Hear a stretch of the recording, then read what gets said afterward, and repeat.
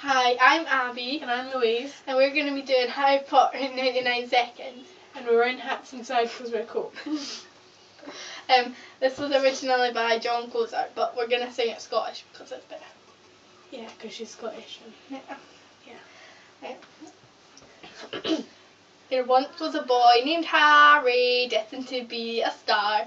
His parents were killed by Voldemort, who gave him a lightning scar.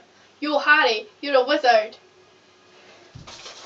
Harry goes to Hogwarts, meets Ron and Hermione. McGonagall requires he play for Gryffindor. Draco is a daddy's boy. Quirrell becomes unemployed. The Sorcerer's Stone is tried by Dumbledore. Ron breaks his wand. Now Ginny's gone and Harry's in mortal danger. Tom Riddle hides his snake inside his ginormous secret chamber.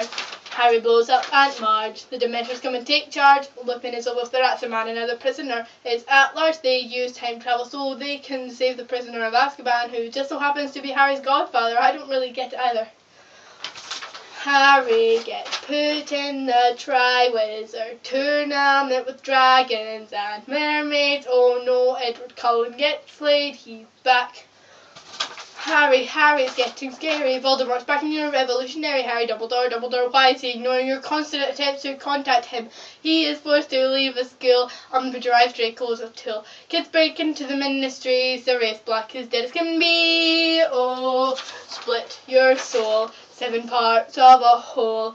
They're Horcruxes. It's Dumbledore's in. There once was a boy named Harry who constantly conquered death. But in one final duel between good and bad, he may take his final breath.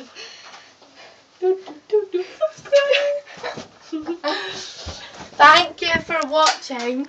Um, it's my new One Direction t-shirt. Thank you, Louise. no problem.